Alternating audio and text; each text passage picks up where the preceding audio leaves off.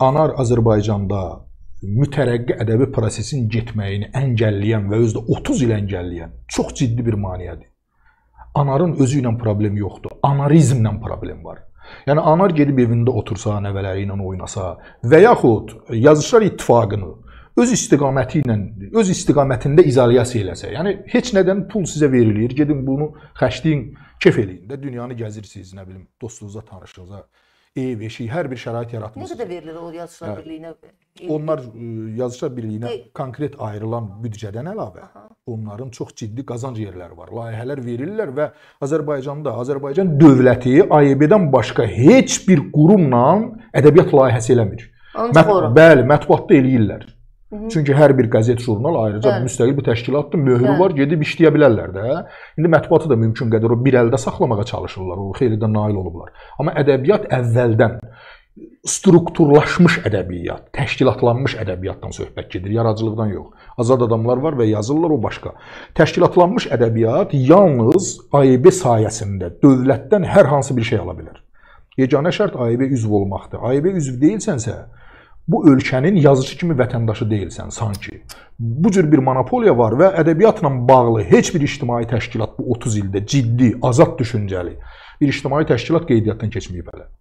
Baxmayaraq ki, kino sahəsində onlarla bu cür productionlar var, nələr-nələr var və bunlar həyasızcasına durub danışırlar ki, pen klubumuz da var. Və elə Əsəd Cahangir özü öz müsahibəsində AEB ilə pen klubu eyniləşdirir.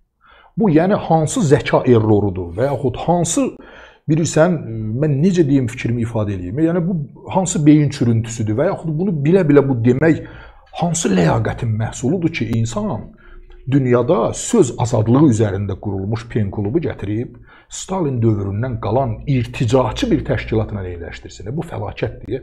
Pen klub vətəndaş cəmiyyətinə xas, demokratik cəmiyyətlərə xas, deməli poeziya, esse, yəni qeyri-bədii və novel və novel, yəni hekayə və Bəli. romanlar.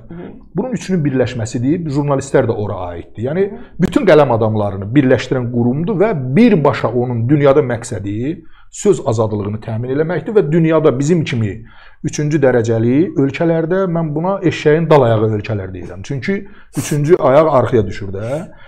Hə, deməli, çünki eşək bizim arxetipdə ciddidir də Mirzə Cəlildə də var eşək itir falan ora bura. Yəni e, ona görə e, bu cür bir e, şey aparmışam analogiya. Yəni eşəyin dal ayağı olan ölkələrdə xüsusilə ki, jurnalistlərə baskı olur, yazıçılara baskı olur. Pen klubun ilk işi orada onların hüquqlarını müdafiə etməkdir və Dünya Pen klubunun üzvü olmağın yeganə şərti budur. Sən söz azadlığına görə təzyiqə məruz qalan qələm adamlarını bir mənalı müdafiə etməlisən. Bizdə bunun rəhbəri Çingiz Abdullayev idi.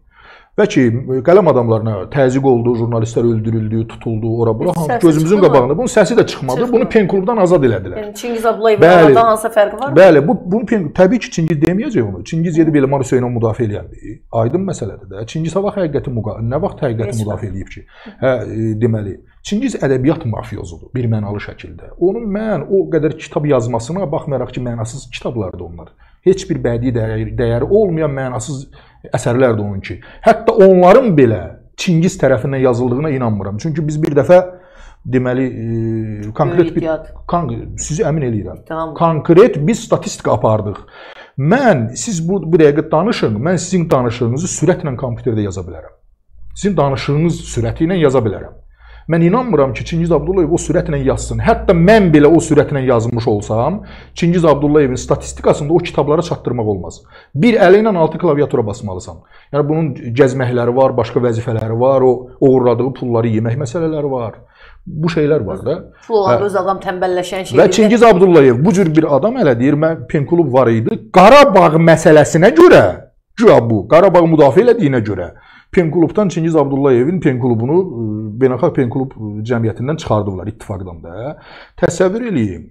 Qarabağ məsələsi də BMT-nin məlum qətnamələri var və bizə qarşı ən çox olan Fransa ölkəsi belə həmsədr kimi onu imzalayıb ki, qeydsiz şərtsiz Azərbaycan torpağından Ermənistan silahlı qüvvələri çıxmalıdır. Bir pen klub, birləşmiş bir pen klub cəmiyyəti niyə Qarabağa görə beynəlxalq konvensiyaya zidd olmayan hər hansı bir şeyə görə, nəyə görə hansısa pen klubu çıxartsın? Azərbaycandakı yalançı ki pen klub var idi, onun saxtakarlığını gördülər və azad elədilər. Çünki Azərbaycanda təzyiq altında olan qələm adamlarına qələm adamlarını Çingiz Abdullayev və onun ətrafı ki, yalandan yaratmışdılar. Bəli. Bunu müdafiə eləmədi. Yəni biz bir-biri allada bilərik. Hətta ermənini də allada bilmirik. Yadınızdadırsa, yalnız bir-biri allada bilərik. Bizim ən yüksək vəzifədə işləyən adamımız belə Qarabağdakı ən mənasız erməni də allada bilməz. Bizim silahımız yalnız özümüzə qarşıdır, başqa heç kimə. Hətta Arazın o tayındakı İran vətəndaşı olan Azərbaycanı da allada bilmərik. Çünki o İran kimi ölkənin vətəndaşıdır. Yalnız özümüzə, öz qohumlarımıza, öz qövmümüzün başına əngəl kələfiz biz. biz. Və bu bizim xalqda çox təəssüf ki, bu söhbətləri yeyir. Mən çox təəssüf edirəm. Birisi mən onu həmişə misal çəkirəm. Xalqı da kim formalaşdırır? Elə siz formalaşdırırsınız. Ədəbiyyat Yox, bizim da, xalqa da çıxışımız ya- yoxdur da. Bizim Azərbaycanda yazıçının xalqa çıxış imkanları məhdudlaşdırıblar. Mən zəng vururlar, kitabını hardan tapım deyirəm bilmirəm. Necə yəni? Yoxdur mağazalar. Yəni Nətər hardan yəni tapsınlar? Ya- Yalnız Bakıda var da. Yəni Aha. an- ancaq Bakıda var. Tutaq ki, Bərdədən zəng vururlar, kitabınızı necə tapım deyirəm bilmirəm. Azərbaycan yazıçısını, Azərbaycan oxucusuna çıxmaq imkanından məhrum eləyiblər. Çünki Sovetdən qalan kitab in- industriyası dağılıb, yenisi yaranmayıb. Biz 30 ildə kitaba qarşı yeganə güzəşti bu il elədik. Ədəbi ləğv olundu. Onu da prezident deməli göstəriş verdi ki, ləğv olunsun. Məmurlar yubadırdılar. Biz hayküy saldıq ora-bura ki, adamlığınız olsun. Bunu heç olmasa eləyin. 30 il sonra eləyirsiniz. Heç olmasa bunu eləyin. Nəhayət ki, nail olduq. O da gəldi elə vaxtda çıxdı ki, Rusiyada müharibə başladı və kağızın qiyməti demək olar ki, 2 dəfə qalxdı. Və daha e, o kompensasiya heç ödəmir. yəni heç gözə görünmədi. Hə, hə, amma yəni bütün hallarda bunu bunun ləğv olunması bax o kitab industriyasının formalaşması üçün ciddi addımlardan biridir. Azərbaycanda kitab industriyasını formalaşdırmaq üçün neft şirkətində saat itirən oğlan kim idi o? Həmin o itirdiyi o itirdiyi saatın qiyməti kifayət eləyir ki, həmin e, məbləğ kifayət eləyir ki, Azərbaycanda kitab sənayesini qurasan. Yəni cə- cəmi 2 milyondan. Bəli, bəli. Belə 2 milyon bəlkə də çoxdur.